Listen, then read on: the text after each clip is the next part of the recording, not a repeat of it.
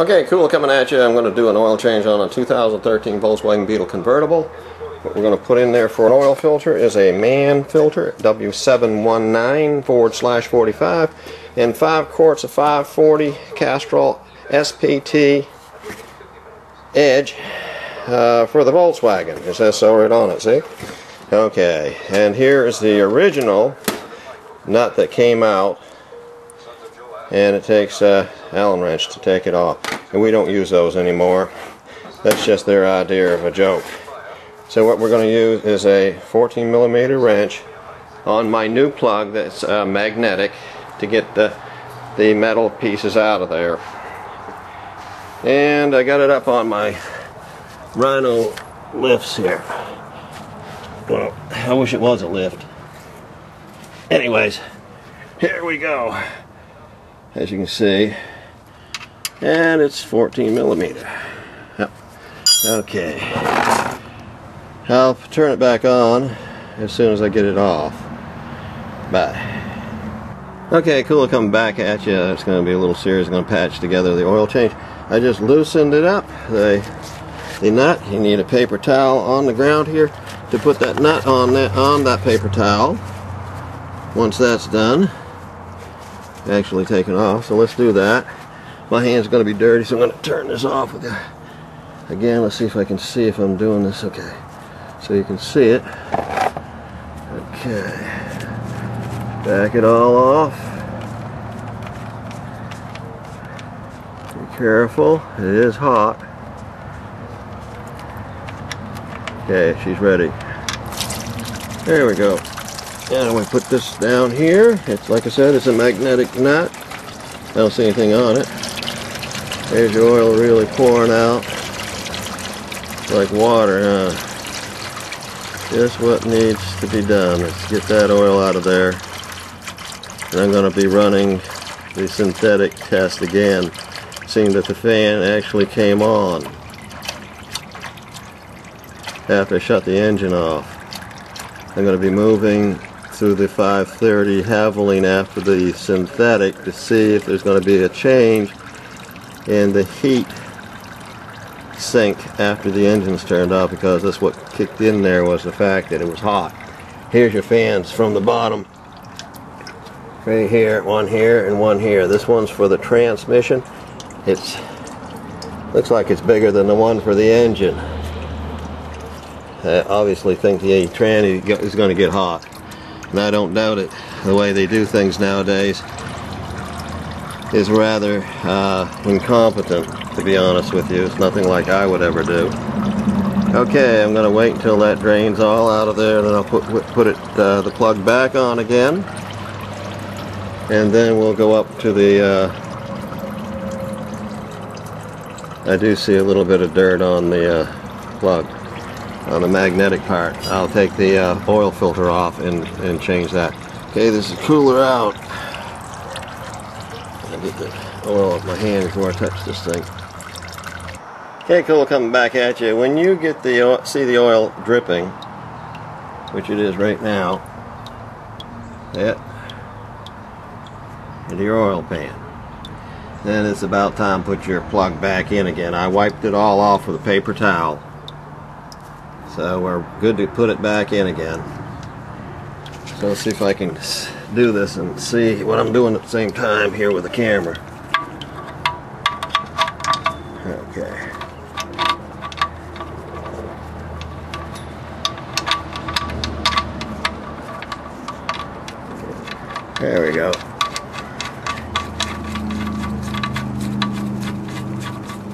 Don't change out your wa washer unless you're you've got a leak. I know that uh, everybody tells you to do it. Don't bother.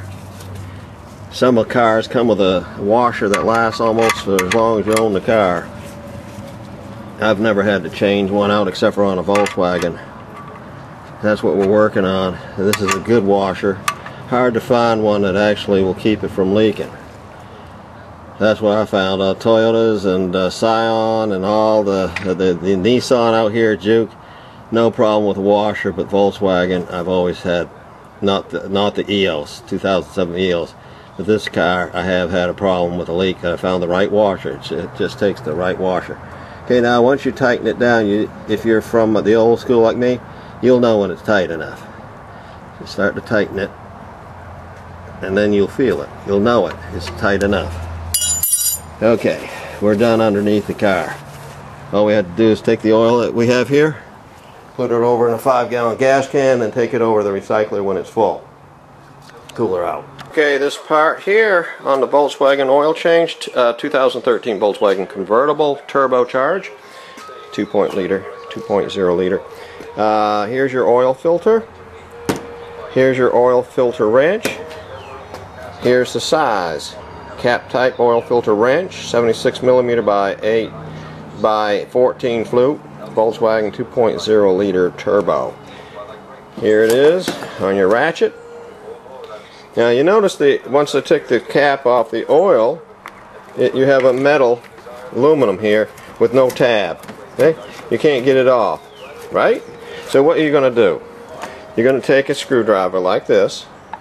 That that's the only way I know of, and then poke it down through like that, and then you pop it off like this. Now, when you do that, as you can see, you get to then you have to pull off, pull it off by hand. Now, what's going to happen when you do that? some of those metal pieces are going to drop down inside. Then it's going to go down inside of your car. Now, there was some smart person that thought that's the answer, instead of using a little piece of cardboard and stuff. Now, inside of this oil uh, funnel, you see there's a a wire mesh to keep those any parts from going into your car like I'm describing to you. You see it? Let's see if I can do it better here. Well, hopefully you can see it. It's a multitask 5-in-1 funnel. Okay, anyways, that'll keep the metal pieces from going down into your car. Okay? And that's what you need to do. And I'm going to put 5 quarts of oil in it with a new oil filter. That should top it off and it should show it full. You're going to have to take your oil, and some oil, and put it, what I'm going to do is, well, you can put your finger in, or you can dump it out in the cap. And what I do is I just dump a little bit out in the cap. There we go. And uh, now what you're going to do with it is put it on the, the uh, seal all the way around the seal so that it will seal it properly and not leak on you. Okay? And uh, this is it. I'll make sure I, I, did it right after I turn the video off, okay? But uh, make sure you get, don't be afraid to put a lot on there so that you have it all nice and wet and oily. Okay, this segment is done for now. Back off a little bit so you can see all that. Also wear some safety glasses and some rub, some uh, protective gloves like you have, I have on here. Okay, later. Kooler coming at you with the oil change? And we're at the oil filter at this point. Let's just move the oil filter wrench away, out of my way here, put it on over there. This rubber hose is snap down into these snap downs okay? They'll be in on top of the oil filter. What you want to do is take the, take it out. I already had done it as you notice that. And stick it out behind the uh, oil dipstick like that. Now your oil filter is ready to come off of there. See if I got this wrench right okay the wrench is uh, proper. Then you start loosening it. Loosen it up to the point and wait a minute forgot one thing. Make sure you put your rags underneath it because sometimes oil will come out of there and uh, start leaking down so thank goodness I remembered it when I did. Uh, okay there we got it there. So it doesn't get on your uh, uh alternator belt you don't want it squealing and going around and spinning and all that stuff okay now that we once we get it loosened up and we just did now we can take it off by hand so what we want to do is take the oil pan like this, have it ready, and uh, take your oil filter off. It shouldn't leak too much oil once you get it up.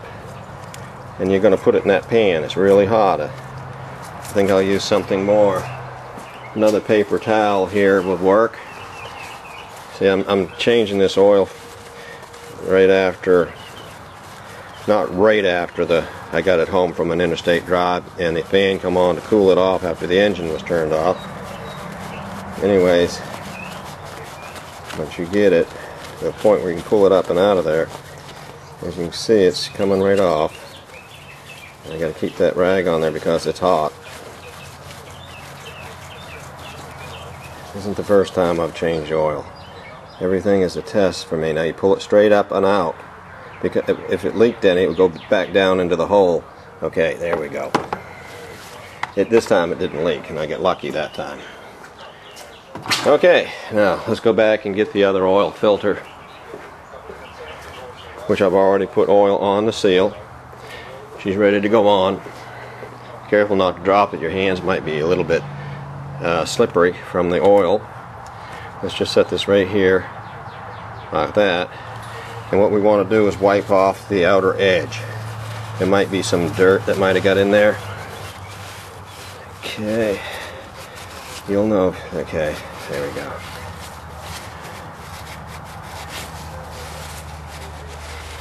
You'll know once you got it all off of there because that will interfere with your seal sealing back up again. Okay, let's take that excess paper out of there. There was no excess oil that came out. We're lucky. Okay, now what we're going to do is put this down there. See how it's threaded? Let's just set that down there like that and start spinning it on.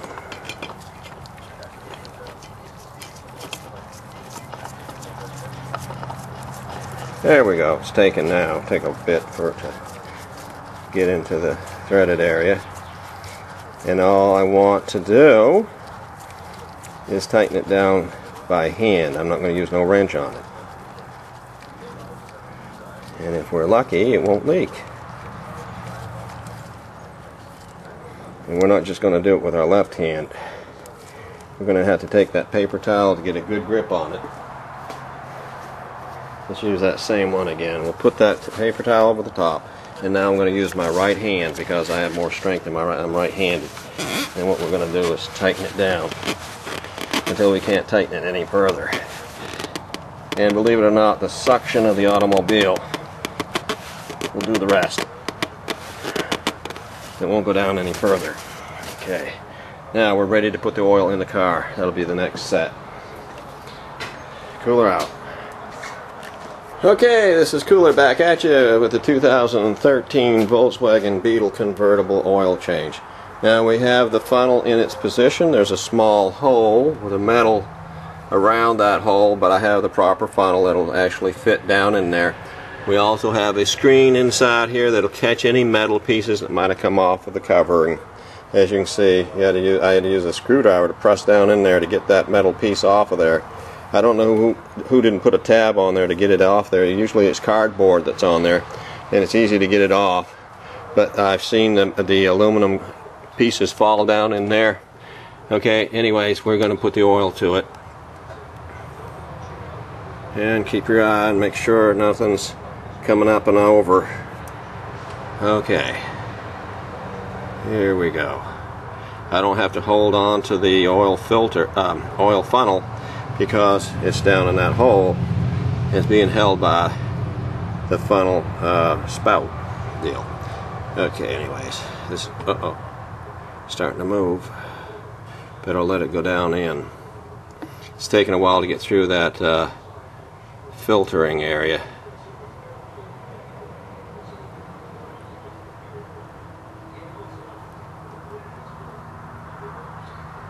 Okay, this will be quart number one, and we're going to put five of them in there just like I'm doing now, as you can see.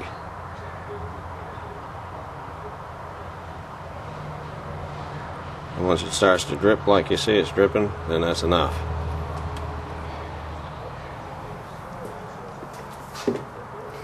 You can put something underneath the handle here so that it has something to hold it on this end as I noticed that it started to tip a little, but see it's, it's flexible down at the bottom. And that's what happened when there was more weight on there. Okay, I opened up, I can throw this one away now into the garbage pail. I've got all the covers off and the metal taken off. Huh, it seems like didn't do the last one for some reason. For your information, if you didn't see it early on, trying to get this cover off here. Boy, that's on there nice and tight, ain't it?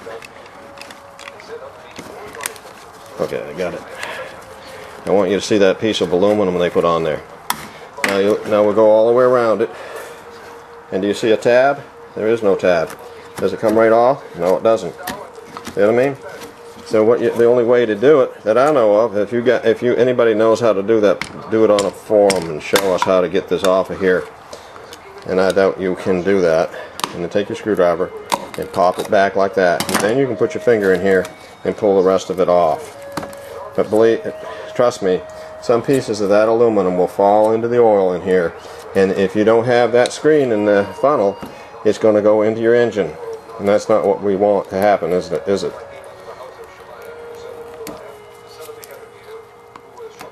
There. Who was the incompetent? Whoever thought that up, huh? Okay. Terrible. Never seen nothing like it. I've been around a long time. But you know, they're trying to sell you something that's not not uh, worth it. You're paying like almost ten dollars a quart on this stuff. Or is it not? About nine dollars, eight dollars and ninety something cents, I think, per quart. My goodness, I could buy uh, the Havoline for two fifty. I was buying it for two fifty. So it's just about one. You can get at least four, a little more than four quarts for the price of one of these. But this is for me. It's just a test. Let's start over here. Second quart. With that little filtering screen down in there, it slows the oil from going into the automobile. So far I haven't seen any metal, but I have seen it before. That aluminum. Gotta be careful, I don't even want one drop going down in there. I guess eventually that little area where it it's got that ripple which can make it formable. It'll eventually tip over to the point where actually the handle touch down there and catch itself, so I'm not going to worry about it. No leaks so far.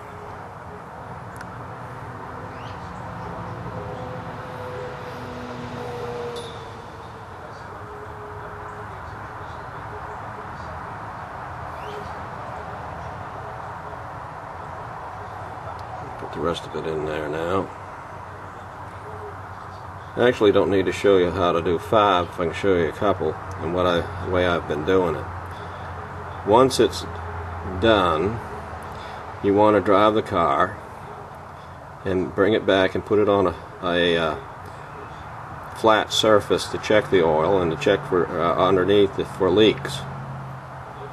If you see that the ground has a leak on it, then you, this this garage has a lip on the way in. Don't need the Rhino drive up. Um, anyways, uh, what I'm trying to say is that I don't need to put it on those uh, rhinos there. But this lip on the garage, when you once you start coming in, you see how it's pointed upwards. It'll point upwards and you can get underneath it enough to see if there's any leaks. You can also check from the above for the oil filter. Just look around it, the area, and look to see if you see any oil which there's none there now. If there's oil later on, then you know you got a leak. Okay. Rhino ramps. Do you ever have a word that doesn't come to your mind when you need to say it? The rhino ramps, you don't need them to look underneath see if there's a leak. Okay, I'm going to toss this out and uh, I'll call it a day for as far as the oil change goes. You can see how I did it. So y'all take care. Uh, don't turn your car into cash cow for a service department uh, where you bought the car. You don't need this uh, oil change by them. If you can do it yourself, do it yourself. Rotate your own tires. And uh, the car was manufactured to uh, go 36,000 miles, three years under warranty. It came out of your MSRP, by the way. They're not going to tell you it did, but it did and uh, that the manufacturer, and I believe it too, the plugs are good for up to probably 100,000 miles. Your uh, uh, DSG or tranny fluid, which is this good stuff down here, is good for 40,000 miles. This is a direct shift gearbox oil, SAE 75. The number is G052182A2 is good for the Volkswagen Beetle out here. I had bought it from Volkswagen You'll also need a filter. Right, I changed the filter at that time. It's a uh, 02E398051 for your tranny. Okay? So I'm not going to be doing that anytime soon. Maybe after 40,000 miles or so, but I won't be doing it now because the car is too new. I've only got about 5,000, no, 6,000 miles roughly on the car right now. Okay, this is Kooler, and the uh, what I call the X03 Volkswagen convertible year 2013 2.0 liter turbocharged engine and it's a great car thus far um, take care and enjoy your ride Kooler does bye bye okay cool coming back at you this is the uh, after the oil change we're looking now down to the area of the oil filter to see if there's any oil that has dripped down around anything and it's nice and dry now now remember that I hand tightened this the way I did it in the video. And that's all looking good down there. Everything looks good. Okay, and remember that the fans can come on after the engine's been turned off. After a, a nice long drive on the interstate. If you remember uh, from the other video that I did, that the fans were running and the engine was turned off after a ride on the interstate. Now let's look underneath the car and see if there's any oil dripped out of it. Because I just drove the car now after the oil change. Okay, sorry, I had to point down at the ground there, but what can you do? Uh, as you can see, she's nice and dry. There's no dripping. Not a drop of oil underneath here Let's see what I can do. See if we can see the plug. There's the plug right there. See it? There's no oil there at all, you can see that the uh, washer took, and that's about probably the third time I changed oil with that same washer. You don't need to change washers unless you see this dripping, and it's not dripping. They, those washers last forever. If you don't believe me, try it if you get a good washer, you don't ever want to get rid of it because the next one may not work. Okay, this is Kooler. And uh, the oil change finalized. All buttoned up, no dripping, no nothing. Take care, all of you guys. Enjoy your ride, I do. Kooler out, bye.